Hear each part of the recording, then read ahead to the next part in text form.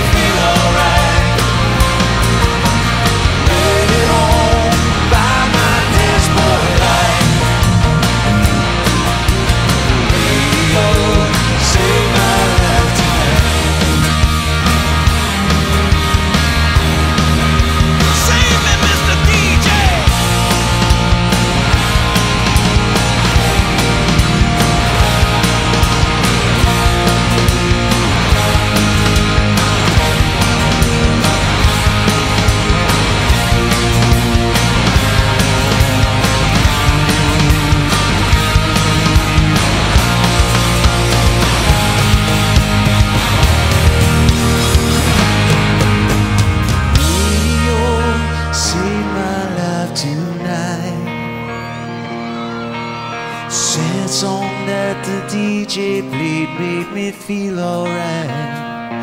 As I drove down a lonesome highway, just me and my dashboard light.